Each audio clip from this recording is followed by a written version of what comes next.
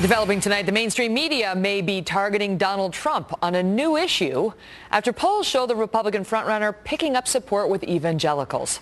A survey out of South Carolina showing Trump at 30% with this key voting group. And not long after that was released, Trump started taking what some media outlets are calling gotcha questions about his faith. Here is one example. An Old Testament guy or a New Testament guy? Uh, probably equal. I think it's just an incredible, the whole Bible is an incredible, I joke, uh, very much so. They always hold up the art of the deal. I say my second favorite book of all time. But uh, I just think the Bible is just something very special. Tony Perkins is president of the Family Research Council, and earlier I asked him what he is hearing from the evangelicals. Tony Perkins is the president of the Family Research Council and with me now. Tony, good to see you.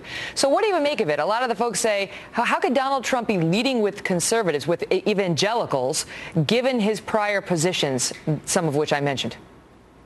Well, Megyn, Donald Trump is the result of a Republican leadership uh, here in Washington, D.C. that has been playing political footsies with uh, Barack Obama rather than fisticuffs. And people are simply tired of it, and that includes evangelicals. They're, they're, they're tired of the lip service, and they want action, and, and Donald Trump is promising it. Now, whether he delivers on that and whether he continues his conversation with evangelicals and corrects some of this uh, miscommunication or these uh, signals that he's been uh, sending is yet to be seen. What do you, I mean, it's interesting to have, you know, a, a man like Trump who openly admits he doesn't remember if he asked God for forgiveness. Uh, he says, I'm mm-hmm. not sure I have. I just go on and try to do a better job from there, but I don't bring God into the picture.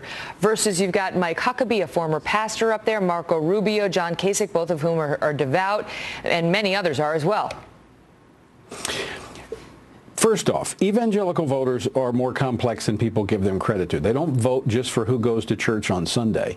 They vote for someone who they feel confident will lead this nation forward. Did you ever get behind a candidate who, who used to support not only abortion but partial birth abortion?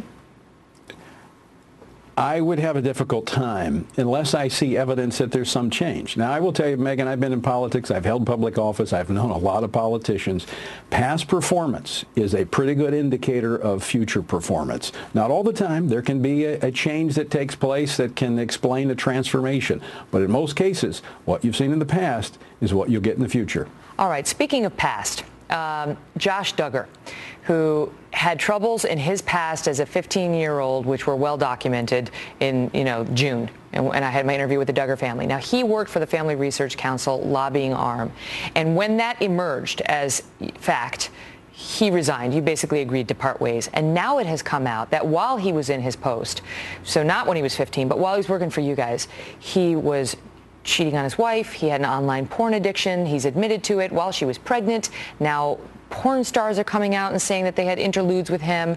And you know people are looking at not just Duggar, but the Family Research Council and groups like yours saying, hypocrites, hypocrites. Mm-hmm. What do you say? Well, first, Megyn, I say I am, uh, I am grieved and angered over Josh's choices and his actions.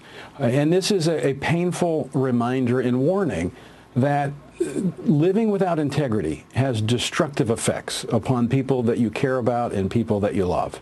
And to that point of those who would say, well, look, let's just jettison this, this moral standard, which is falling out of favor in our culture today. But, you know, people may not have a care for or concern about a moral standard until they're hurt by those who fall short or break a moral standard. I, bet tonight, watching your program, there's a husband, a wife, a, a teenager, a college student whose, whose uh, spouse or parent uh, was among the 30 million plus names that was on the Ashley Madison list. And, and they're hurt they're broken. They feel betrayed. And, and, ask them if they, they want to live in a society that rejects any moral standard. I would say that they would probably say no. But the good news is there's hope. There's healing for them.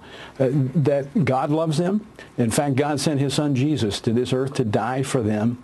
And, to, and he himself was betrayed. He understands what it's like to be betrayed. So I, I would simply say to those who have been hurt by those who have broken that standard and mm-hmm. betrayed them, that there's help. And but there's, you know, you know that there's a particular, it, it really rubs people the wrong way when the person who sinned is somebody who espouses family values and lectures others no about question. their lifestyles. I mean, you, you've, No- you've no said question. that you believe if you make this your, your profession, your life's calling, you are held to a higher standard.